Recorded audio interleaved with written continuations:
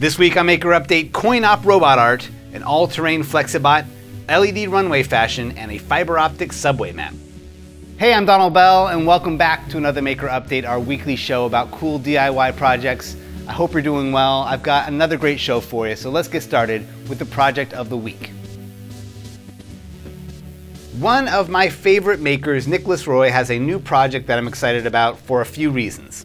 The gist of the project is that it's a vending machine for this constantly changing, generatively designed plotter art. You pop in a coin and the current image is plotted right in front of you and given a stamp of authenticity. Inside you have an old plotter, an LCD, a laptop, an Arduino, a standard coin mechanism, lights, and motors. The laptop is there to run the Python code for the generative line art. And the Arduino is there for all the hardware interactions rolling the paper, stamping it, cutting it, changing the state of the lights, stuff like that. All of this is documented on niklasroy.com, including the code and even the CAD model for the cabinet. I'll leave a link in the description. Now here's why I get so excited about this project. First, if you take nothing else away from the show, I want you to see the super clever thing Niklas is doing with the art screen here. It's easy to miss and it's kind of an echo from last week's TV modification project. By removing the back of the screen, including the backlight, you're left with a transparent LCD. But when you run the paper behind it and backlight everything inside the cabinet, you get this effect where the preview of the line art looks like it's moving on the paper, just waiting for you to put a coin in and lock it in place. Once you do, the image freezes momentarily and you get to see it plotted line by line and before it's cut and dropped, the plotted art is brought up precisely behind the digital image on the LCD, and for a moment, you get to see the analog and digital versions of the art superimposed. The way he's playing with the LCD like a window or a light table, I just haven't seen that done like this, and it makes the project super unique. Even just the texture and diffusion the paper gives the sign at the top is a neat effect worth recreating. On a more conceptual level, I feel like Niklas is addressing an issue that many of us feel about art that's been computer generated or computer rendered, or in this case, both. It's through his use of interaction design that the art becomes meaningful.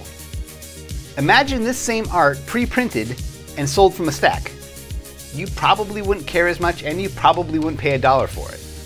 But just the small act of dropping a coin to pause the algorithm for a moment, that's enough to make you feel like you played some role in the art's creation you witness it being born. Those interactions infuse a human value into the art, and that's the real trick.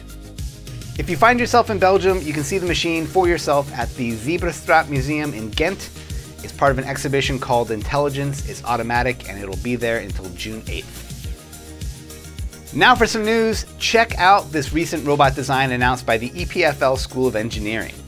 They call it the GOAT, which stands for Good Overall Terrain, and it could offer a blueprint for some new forms of robotic design.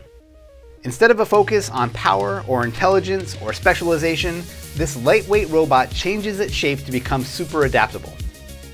Most of the design is made of strong, flexible fiberglass tubing, similar to camping tent poles, I imagine. These tubes are arranged into a shape that allows the whole structure to contract and expand into several useful shapes depending on what's needed. Suspended in the middle is a box containing both the brains and battery, along with a simple winch mechanism that can independently contract one or both sides of the shape. The simplicity of this design makes it not only more resilient with fewer points of failure, but it also makes it more inviting for hobbyists to replicate and play around with. I think a smaller Roomba-sized version of this would be fun to make.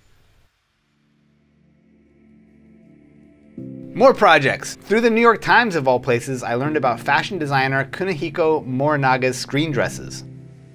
These are fully addressable LED matrices woven into garments that are interesting on their own with the lights off. When the lights come on though, the effect is incredible. There's some pixel art, some animated particle and glitter effects, some kaleidoscope patterns. Every piece looks like something you've never seen before. But at the end, with all the outfits gathered together, we get to see them synchronize and you begin to appreciate that any one of these outfits can really take on an infinite variety of colors, patterns, and animations. Over the years, I've seen plenty of fashion tech on the runway, but this really felt like a defining moment. For the technology behind the LED fabric, Morinaga collaborated with the Japanese design firm M++. I'll leave a link to them in the description as well. They've done some very cool work with LED projects and performance, a great resource for project inspiration. Check out this 3 foot long 3D printed Manhattan subway map by Guillermo Vera. Not only does the map show live updates of subway cars around the city, but it lights up the locations using an intricate matrix of fiber optic lights. It may not look like it, but at its core, this is a Raspberry Pi project. The Pi is needed to grab the real-time subway traffic data from the MTA's public feed. That said, one of the most fascinating and maybe most generally useful aspects of this project is the workflow Guillermo used to create and simplify the digital map of Manhattan and then adapt it into a 3D printable, multicolor, four-part design. The whole thing is incredible and full of useful solutions and techniques that you can learn from. Speaking of useful techniques, we've got a great video from Wesley Treat on ways to weather, rust, and age your projects. Weathering really is an art all its own. Done right, it can make an object feel like a priceless antique or a real prop from your favorite movie. But a bad weathering job is a quick way to turn days of hard work into an ugly pile of garbage. Wesley shows you his favorite tools of the trade and the best strategies for getting a worn vintage look without overdoing it. And on Adafruit, Erin St. Blaine has a guide on working with addressable LED matrix netting using either WLED or xLights software. This netting is a relatively new LED product and at the moment probably the best off-the-shelf option you can get towards making an LED matrix fashion project like we saw earlier in the show. Not only does Erin offer some useful tips for wiring it up, but also shares two different approaches to getting the kinds of lighting effects and animations you'd want to see. For this week's DigiKey Spotlight, did you know that you can order custom designed enclosures for your project through DigiKey? Using DigiKey's online configurator, you can upload your project specifications and get an instant pricing estimate for factory modified Hammond brand enclosures. For a professional touch or the ability to quickly scale to a large run of enclosures, it's a useful option to be aware of.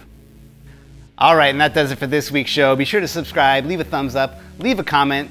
Thanks again to CREACIÈNCIA for the use of their lab. They're an outstanding resource for childhood science education in Barcelona. I'll leave a link where you can learn more down in the description. Thanks again to DigiKey for making this show possible, and thank you for watching. I'll see you soon.